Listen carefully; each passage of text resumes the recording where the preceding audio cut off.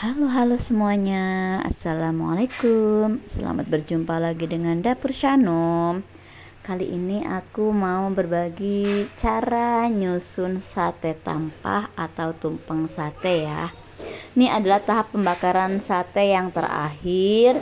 Setelah selesai kita bakar semuanya baru kita balurin ke bumbu sate maduranya ya.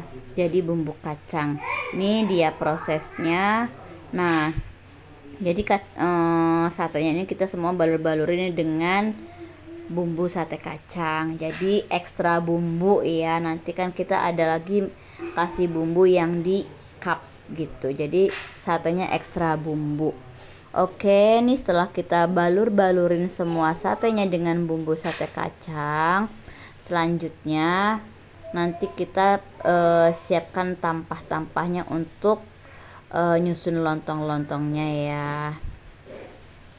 Nah ini dia penampakannya ya setelah dibalurin. Ini oke. Okay. nah selanjutnya kita susun-susun lontongnya ditampah kayak gini ya. Jadi untuk penyusunannya tergantung seleranya teman-teman. Tapi inilah versi-versinya aku aku. Oh iya mana tahu nih ada teman-teman yang bertanya kenapa lontongnya nggak lontong daun aja? Kan lebih cantik gitu ya. Ya jujur aku pribadi juga lebih seneng lontong daun lebih cantik. Dan disusunnya itu nggak susah karena bulat-bulat jadi bagus kalaupun harus kita nampakkan. Memang harus dinampakkan karena biar jadi kelihatan semua menu-menunya gitu kan jadi memang cantik. Tapi karena ini lontongnya lontong plastik jadi aku lebih banyak tutup-tutupin biar nggak banyak nampaknya karena jelek menurut aku ya penampakannya.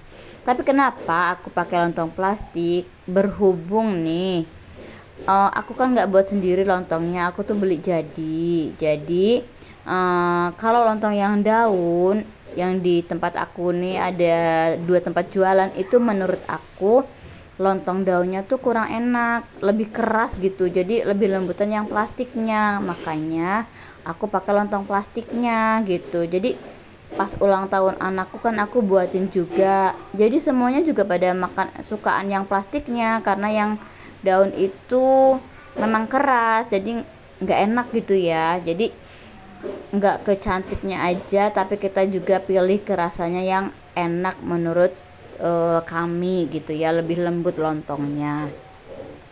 Oke lanjut nih ya. Nah, seperti yang tadi sambil teman-teman lihat lah ya tuh pita-pitanya udah dipasang dan kita susun kayak gini.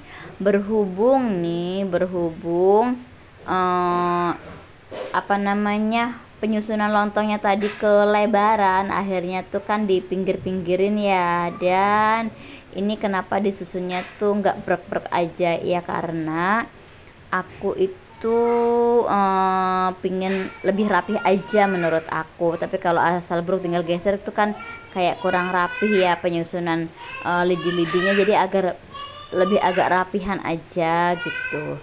Nah ini karena berhubung kurang jadi kita geser-geser lagi lah ya lontongnya jadi terkadang gitu nggak sekaligus langsung jadi gitu ya. Eh ternyata kurang cantik.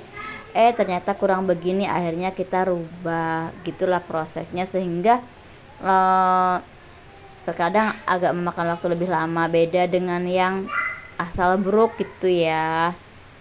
Jadi eh, cuman apa namanya tergantung sih seleranya. Kalau ngerasa udah jadi ah kayak gitu juga udah bagus ya nggak perlu dipindah-pindah lagi sih. Cuman itu tergantung tergantung seleranya kita mau cantiknya seperti apa yang dibayangkan gitu. Jadi sambil bermain instingnya gitu kira-kira lah ya. Oke lanjut ya.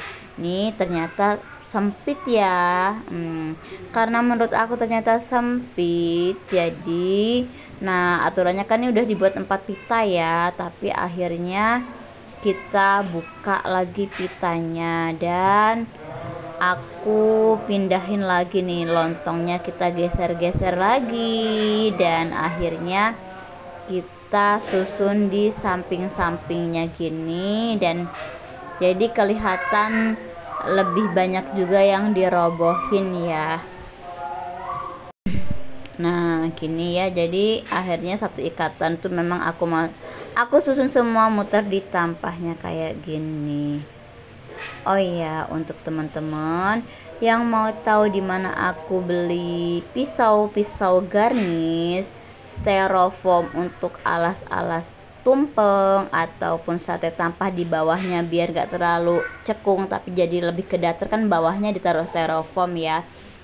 Nah cetakan-cetakan sayur dan lain-lainnya aku udah sertakan link di deskripsi ya. Jadi itu adalah link-link yang menurut aku itu toko termurah.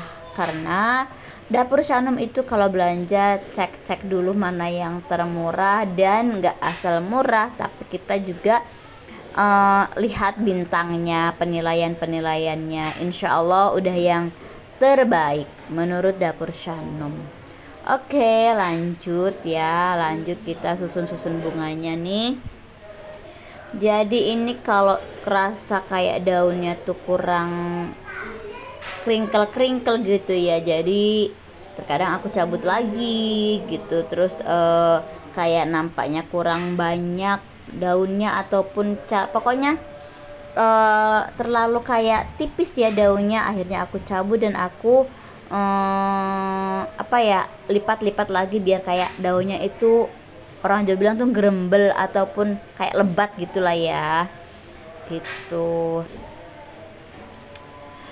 Oke lanjut lanjut aja dengan disimak-simak ya. Terus untuk teman-teman nih yang belum like comment and subscribe bisa bantu kembangin akun aku ya dengan cara like, comment, and subscribe supaya akun aku berkembang.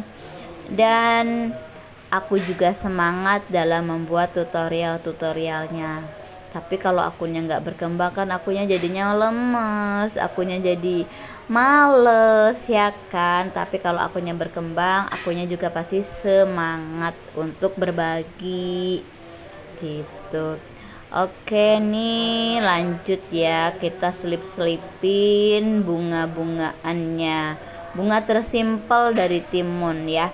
Untuk tutorialnya juga bisa cek-cek di video-video aku sebelumnya. Jadi bunga-bunga yang ada di sini itu semuanya udah ada videonya ya.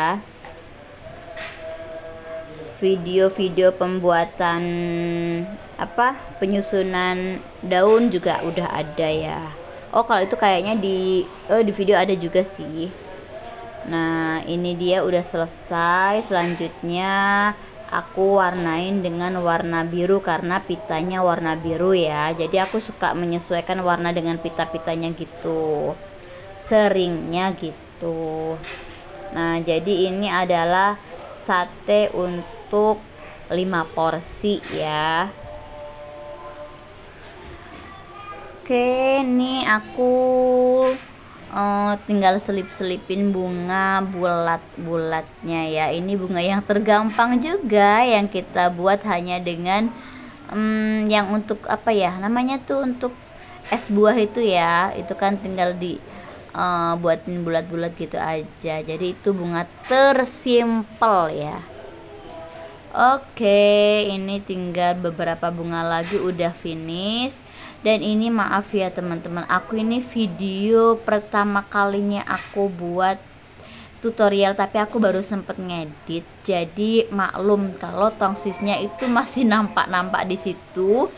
Ya harap maklum ya karena aku kan masih pemula. Dan ini pertama kalinya aku buat video jadi keterangannya juga kurang terang. Jadi harap dimaklumin ya Oke, nih udah jadi dan aku tuh uh, lupa nggak ngevideoin pada saat aku ngewarnain. Tapi intinya tutorial ngewarnain mawar kayak gini tuh udah ada ya di video aku sebelum ini tuh udah ada videonya.